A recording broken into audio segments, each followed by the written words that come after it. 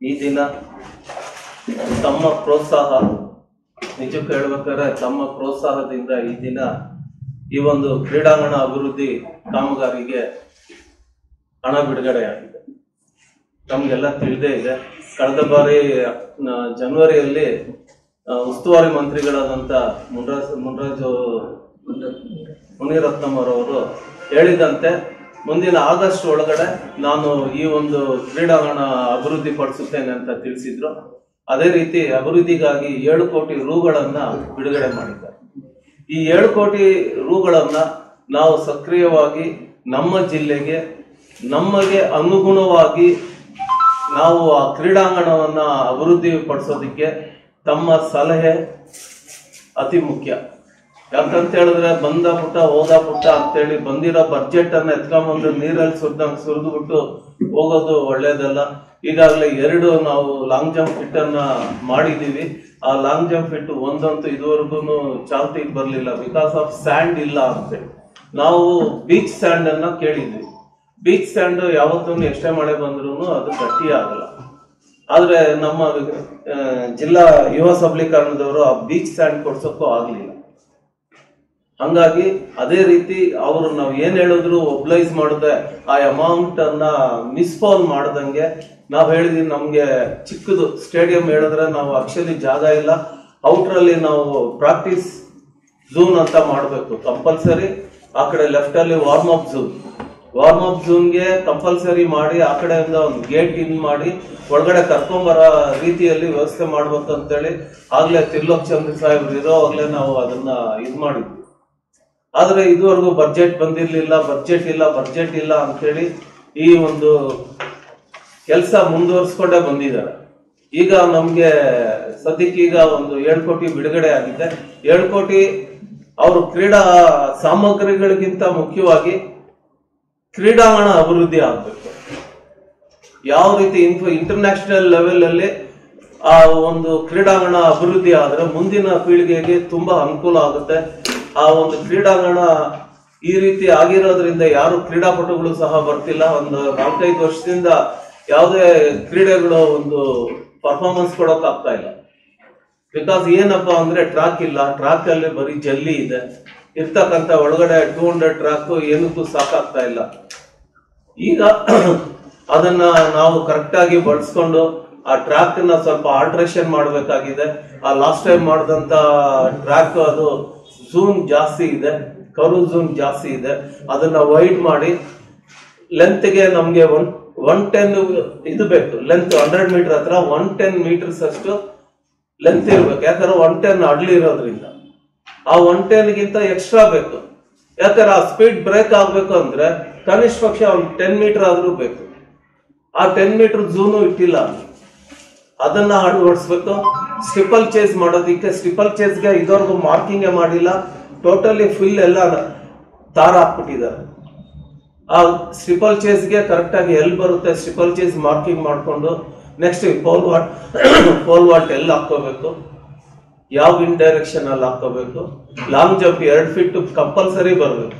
ಯಾಕಂದ್ರೆ ಗಾಳಿ ಇತ್ತು ಅಂದ್ರೆ ಜಂಪ್ ವೇರಿಯೇಷನ್ ಆಗುತ್ತೆ.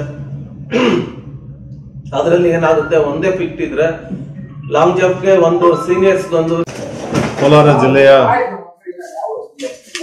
ವಿಶೇಷ ಕ್ರೀಡಾಂಗಣದಲ್ಲಿ ರಾಜ್ಯ ಸರ್ಕಾರ ಇವತ್ತು ಏಳು ಕೋಟಿ ಅನುದಾನ ಬಿಡುಗಡೆ ಮಾಡಿದೆ. ಈ ಬಿಡುಗಡೆ ಆಗಿದ, ಮಾಡಿಸಿದ ಕೋಲಾರ ಜಿಲ್ಲಾ ಉಸ್ತುವಾರಿ ಸಚಿವರು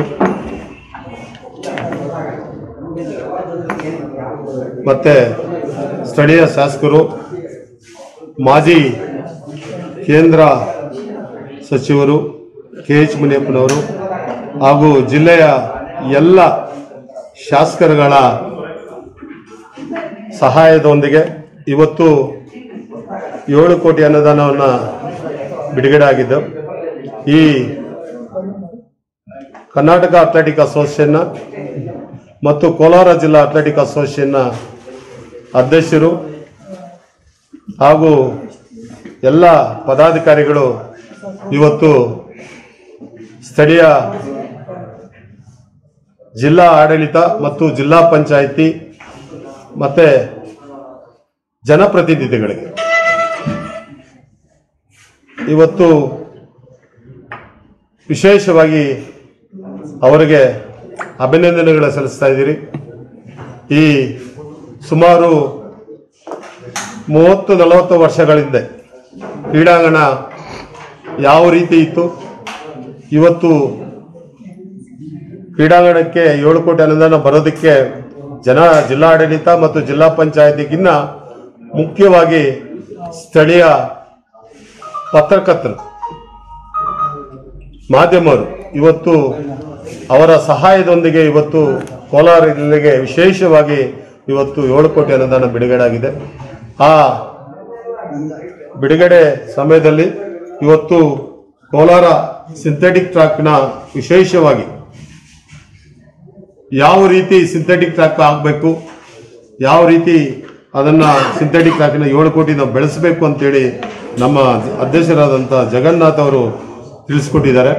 ಅದೇ ರೀತಿಯಾಗಿ ನಾವು ಮತ್ತೆ ಕಮಿಷನರ್ ಕ್ರೀಡಾ ಮತ್ತು ಯೋಜನಾ ಮತ್ತು ಕ್ರೀಡಾ ಇಲಾಖೆ ಕಮಿಷನರ್ ಸಾಹೇಬರು ಭೇಟಿ ಮಾಡಿದಾಗ ಅವರು ಕೋಲಾರ ಜಿಲ್ಲೆಯಲ್ಲಿ ನೀವು ಅಥ್ಲೆಟಿಕ್ ಅಸೋಸಿಯೇಷನ್ ಏನಿದ್ದೀರಾ, ಆ ಸಮ್ಮುಖದಲ್ಲೇ ನಾವು ಪ್ರತಿಯೊಂದು ಅಭಿವೃದ್ಧಿ ಮಾಡೋದಕ್ಕೆ ನಾವು ಎಲ್ಲ ರೀತಿಗಳಲ್ಲಿ ನಿಮ್ಮ ಸಹಾಯದೊಂದಿಗೆ ನಾವು ನಾವು ಇದ್ದೀರಿ ಅಂತೇಳಿ ಅವರು ಹೇಳಿದ್ದಾರೆ.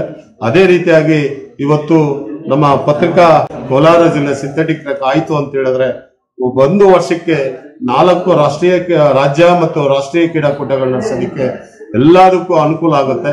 ವಿಶೇಷವಾಗಿ ಇವತ್ತು ನಮ್ಮ ಜೊತೆಯಲ್ಲಿ ಕರ್ನಾಟಕ ಅಥ್ಲೆಟಿಕ್ ಅಸೋಸಿಯೇಷನ್ನ ರಾಜ್ಯದ ಅಧ್ಯಕ್ಷರು ಮತ್ತು ಎಲ್ಲ ಪದಾಧಿಕಾರಿಗಳು ಎಲ್ಲರೂ ಕೈ ಜೋಡಿಸಿ ಇವತ್ತು ಅಂತಾರಾಷ್ಟ್ರೀಯ ಕ್ರೀಡಾಪಟುಗಳು ಎಲ್ಲರೂ ಕೈ ಜೋಡಿಸಿ ನಮ್ಮ ಜಿಲ್ಲೆಯ ಪರವಾಗಿ ಇವತ್ತು ಎಲ್ಲರೂ ಕೋಲಾರ ಪತ್ರಿಕಾವರೆಗೂ ಮತ್ತು ಜನಪ್ರತಿನಿಧಿಗಳಿಗೆ ಅಭಿನಂದನೆ ಸಲ್ಲಿಸಿದ್ದಾರೆ.